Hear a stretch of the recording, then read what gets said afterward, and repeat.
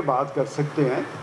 لیکن یہ ایشو جو ہے، اس پہ یا تو آپ عدالتی رپورٹرز کو بلائیں یا قانون دان یہاں پر مدعو کریں۔ تو انہوں نے مجھے کہا کہ نہیں، آپ نے پچھلے دنوں وہ ایس ایم ظفر صاحب کی کتاب کی تقریب میں، جس میں چیف جسٹس صاحب مدعو تھے، وہاں جو تقریر کی تھی، وہ کر دی۔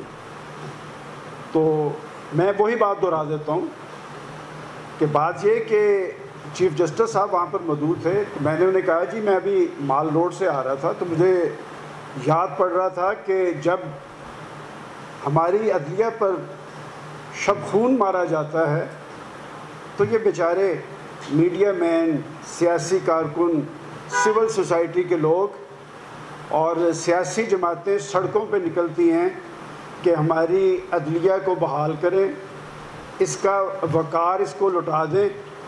اور پھر جب ہماری عدلیہ آزاد ہوتی ہے باختیار ہوتی ہے، تو میں نے چیف جسٹس صاحب کو مخاطب کرتے ہوئے کہا کہ آپ نے دو روز پہلے عدالتی سال کے آغاز پر ایک تقریر کی جو میرے دل کو بڑی بھائی کہ چیف جسٹس صاحب نے وہاں پر کہا کہ پرسیپشن یہ ہے کہ جی پاکستان میں احتسابی عمل جو ہے وہ سیاسی انجینئرنگ پہ مشتمل ہے۔ پاکستان میں آزادی اظہار پر قدغن ہے، پاکستان کا میڈیا دباؤ میں ہے۔ تو وقار ملک صاحب اس کی گواہی دیں گے کہ میں نے کہا کہ جناب چیف جسٹس، آپ بہت ذہینہ آدمی ہیں۔ یہ پرسیپشن نہیں ہے، یہ حقیقت ہے۔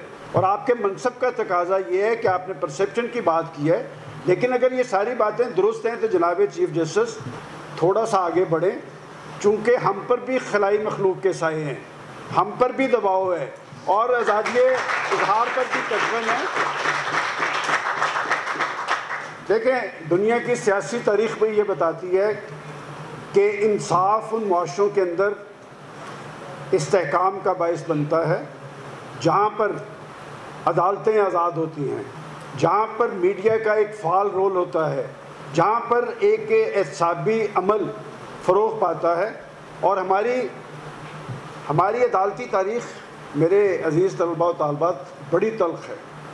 ہم نے اپنی عدالتوں سے بہت زیادہ توقعات قائم کی ہیں، لیکن تلخ بات یہ ہے کہ جن عدالتوں کی آزادی کے لیے ہم تگ و دو کرتے نظر آتے ہیں، جب بھی پاکستان پر شب خون مارا جاتا ہے، جب تالے آزما پاکستان پر قبضہ کر لیتے ہیں، تو میری عدلیہ انہیں قانونی جواز مہیا کرتی ہے۔ یہ سلسلہ جسٹس منیر سے شروع ہوا۔ اور میں اس سے تلخیوں میں نہیں جانا چاہتا، میں ابھی کل کی بات کرنا چاہتا ہوں۔ چونکہ وہ چیف جسٹس صاحب، میں بھی ان سے کچھ واقفیت رکھتا تھا اور آپ سب بھی ان سے واقفیت رکھتے تھے، جنہوں نے پاکستان میں پانی کے کرائسس کو ایک بہت بڑے کرائسس کے طور پہ پیش کیا اور انہوں نے کہا کہ ڈیم نہ بنا تو یہ ملک ختم ہو جائے گا۔ میں آپ سے سوال کرتا ہوں کہ پاکستان کے ہر شخص نے پاکستان کے عوام بڑے معصوم ہیں انہیں پاکستان کے نام پر آپ بھرپور ایکسپلائٹ کر سکتے ہیں۔ ساڑھے دس ارب روپے جمع کر کے دیے۔ میں آپ سے پوچھتا ہوں، کہاں گیا وہ ساڑھے دس ارب؟ اور کہاں گیا وہ چیف جسٹس؟ جہاں تک میرے چھوٹے بھائی عبید صدیقی صاحب نے میڈیا کو تو پردہ ہی چاک کر کے رکھ دیا۔ انہوں نے اپنی بات کرنے کی بجائے بہت سارے سوالات کھڑے کر دیے۔ لیکن میں ہمیشہ کہتا ہوں کہ اس میں کوئی شک نہیں کہ خلائی مخلوق بہت بھرپور دباؤ، لیکن عبید صدیقی بھی تو موجود ہیں۔ وہ طریقے سے بات کرنا جانتے ہیں، ہمیں طریقے سے بات کرنی آتی ہے۔ اور ہم نے، ہم اسی ادارے سے پڑھ کے گئے ہوئے ہیں۔ اور مجھے فخر ہے کہ ہمارے ٹیچرز نے ہماری جس طرح کی تربیت کی ہے، جو کچھ ہمیں پڑھایا لکھایا ہے، یہ ٹیچرز جو صرف ٹیچرز نہیں تھے، اس وقت کی صورتحال کے اندر ان کا پاکستان کی سیاست میں بھی ایک نام تھا۔ اس وقت کے رجحانات، اس وقت جہاد افغانستان کا دور تھا۔ ڈاکٹر مہدی حسن صاحب کی اپنی رائے تھی تو ڈاکٹر مغیر صاحب کی اپنی رائے تھی۔ اور ان دونوں کی اراض ہم سن کر ہم ایک اپنی رائے بناتے تھے۔ میں سمجھتا ہوں کہ کوئی پریشانی کی بات نہیں ہے۔ پاکستان آج ایک ادارہ جاتی بحران سے ضرور دو چار ہے۔ ہمارے ہاں کوئی بھی مقدس گائے نہیں ہے۔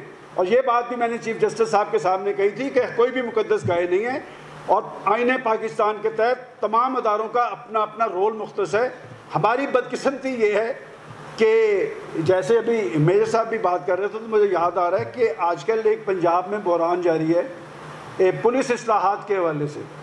تو میں نے تھنک ٹینک میں بھی یہ کہا تھا کہ ہماری بڑی سیاسی بدقسمتی یہ ہے کہ جب عدالتوں کے اندر ریفارمز کرنی ہوں تو سیاستدان کرتے ہیں۔ اور فوج کے اندر ریفارمز کرنی ہوں تو بیروکریسی کو بلایا جاتا ہے۔ بیروکریسی کے اندر ریفارم پہلی دفعہ ایسا ہوا کہ پولیس کے اندر ریفارمز کرنی ہے اور پولیس کا کوئی آدمی موجود نہیں ہے اس کمیٹی کے اندر۔ جو جسٹس سوری اعظم سلیمان صاحب کی قیادت میں جو کمیٹی بنائی گئی ہے، وہ بیروکریٹس پہ مبنی ہے کہ آج بھی ہمارے پاس ایک نسخہ کیمیا موجود ہے۔ وہ نسخہ کیمیا نائنٹین سیونٹی تھری کا کانسٹیٹیوشن ہے۔ جب تک ہمارے ادارے خود کو اس کا پابند نہیں کریں گے۔ پاکستان میں ادارہ جاتی بحران رہے گا۔ اور آپ دیکھیں کہ ہمارے ساتھ چین بھی آزاد ہوا۔ اور کئی مملکت وجود میں آئیں۔ وہ کہاں پہنچ گئی آخر کیا وجہ ہے؟ کہ ہمارے لوگ امیر سے امیر تر بنتے چلے گئے۔ کہ آج پاکستان معیشت کے بدترین بحران سے دو چار ہے۔ آپ کی معیشت بیٹھ گئی ہے۔ ابھی یہاں پر تبدیلی کی بات بھی کی گئی۔ میں ہمیشہ کہتا ہوں کہ ہماری بڑی سیاسی بدقسمتی یہ ہے کہ ہمارے ہیرو بھی جعلی ہیں، ہمارے آئیڈیل بھی جعلی ہوتے ہیں۔ ایک چیف جسٹس صاحب آئے، میں خود مال روڈ پہ نعرے لگایا کرتا تھا کہ جسٹس افتخار چودھری صاحب، وہ انہوں نے پاکستان میں آزاد عدیہ کا نعرہ لگایا اور اس کے بعد سویو موٹو کے نام پہ جو کچھ ہوتا رہا، پھر ان کے بیٹے کا اسکینڈل بھی سب کے سامنے ہے۔ تو ہم لوگ مایوس ہو جاتے ہیں۔ پھر میں نے دوسرے چیف جسٹس کی مثال بھی دے دی۔ جہاں تک کہ میڈیا کی بات ہے، تو عبید صدیقی کے لیے میں یہ کہنا چاہتا ہوں کہ وہ مت نہیں، جو ڈر جائے حالات کے خونی منظر سے، جس حال میں جینا مشکل ہو، اس حال میں جینا لازم ہے۔ بات ہے کہ ہمیں اپنی بات کرنی ہے۔ اس میں کوئی شک نہیں کہ ہمارے اندر بھی گندی مچھلیاں موجود ہیں۔ لیکن میں یہ سمجھتا ہوں کہ آنے والا جرنلسٹ، نوجوان جرنلسٹ، ہماری بچیاں جو اس فیلڈ کے اندر آ رہی ہیں وہ زیادہ اہل ہیں، وہ زیادہ دیانتدار ہیں، وہ زیادہ جرت سے بات کرتی ہیں۔ اور اس میں بنیادی رول بھی پاکستان کے میڈیا نے سر انجام دیا ہے۔ آج پاکستان کے اندر اگر احتسابی عمل عام ہوا ہے، تو اس میں بنیادی کردار بھی پاکستان کے میڈیا کا ہے۔ اور میں سمجھتا ہوں کہ ایک بھرپور مؤثر اور فعال میڈیا پاکستان کے رخ کو بھی درست کرے گا۔ اور اس کے ساتھ ساتھ پاکستان کے اندر جو ادارہ جاتی بحران موجود ہے کہ اگر پاکستان کی عدیہ واقعتاً آزاد باوکار اور خود مختار عدیہ ہوگی، تو پھر قائد اعظم اور علامہ اقبال کا پاکستان بنے گا۔ بات یہ کہ آج تک ہم مقاصد پاکستان کی تو تکمیل نہیں کر سکے۔ ہم مقاصد پاکستان کی بات کرتے ہیں۔ کیا قائد اعظم اور اقبال کا پاکستان یہ ہے جس میں رشوت عام ہو؟ کیا قائد اعظم اور اقبال کا پاکستان وہ ہے جس میں بھوک، ننگ اور بدحالی کا دور دورہ ہو؟ کیا قائد اعظم اور اقبال کا پاکستان یہ ہے جہاں پر مہنگائی اور بے روزگاری عروج پہ ہو؟ ہر آنے والے دن کے اندر پاکستان کے اندر بے یقینی بڑھ رہی ہے، مایوسی بڑھ رہی ہے، بے چینی بڑھ رہی ہے۔ لیکن ہماری پارلیمنٹ ہے کہ اس میں معطل بنی ہوئی ہے۔ کوئی بیٹھ کر سوچنے کے لیے تیار نہیں ہے۔ اور اگر میرے سے پوچھا جائے تو پاکستان کا سب سے بڑا مسئلہ انصاف ہے۔ عدالتی انصاف، انتظامی انصاف، سماجی انصاف، سیاسی انصاف، تعلیمی انصاف۔ کہ بات یہ کہ اگر انصاف کی فراہمی یقینی بنا دی جائے تو معاشرے خود بخود پھلتے پھولتے ہیں۔ دنیا کے اندر آپ دیکھیں کہ جن اقوام نے ترقی کی ہے، سب سے زیادہ وہ اپنا فنڈز تعلیم کے فروغ کے لیے مختص کرتے ہیں۔ اور پاکستان کے اندر آج میں برسوں میں یہ بات کر رہا تھا کہ ہمارے موجودہ چیف ایگزیکٹو عمران خان، وہ دو چیزوں میں بڑے ٹچی تھے اپوزیشن میں۔ ایک ایجوکیشن اور ایک ہیلتھ۔ اور اب آپ ذرا دیکھ لیں کہ پنجاب کے اندر ہیلتھ ڈپارٹمنٹ میں جو کچھ ہو رہا ہے کہ آپ انہیں اٹونیمس باڈیز ڈکلیئر کر رہے ہیں۔ آپ کہہ رہے ہیں کہ سارے ڈاکٹرز نرسز کو فارغ کر دیں گے، نئے سرے سے یہ ادارے بھرتی کریں گے۔ ایک نیا کرائسس پیدا ہونے جا رہا ہے۔ میں سمجھتا ہوں کہ ہمارے اداروں کو، ہمارے حکمرانوں کو، ہمارے سیاستدانوں کو، ہمارے ججز کو اپنے اپنے گریبانوں میں منہ ڈالنا چاہیے اور پھر میں یہ بات کہوں گا کہ پاکستان جمہوری سٹرگل کے نتیجے میں بنا تھا اور جب بھی جمہوریت پر شب خون مارنے کی کوشش کی گئی تو پاکستان ٹوٹ گیا۔ اس وقت بھی مینڈیٹ پاکستان کی جس بڑی پولیٹیکل پارٹی کو ملا تھا، پاکستان کے جرنیلوں نے اور کچھ سیاستدانوں نے مل کر سازش کی، اس مینڈیٹ کا احترام نہیں کیا گیا تو پاکستان ٹوٹ گیا۔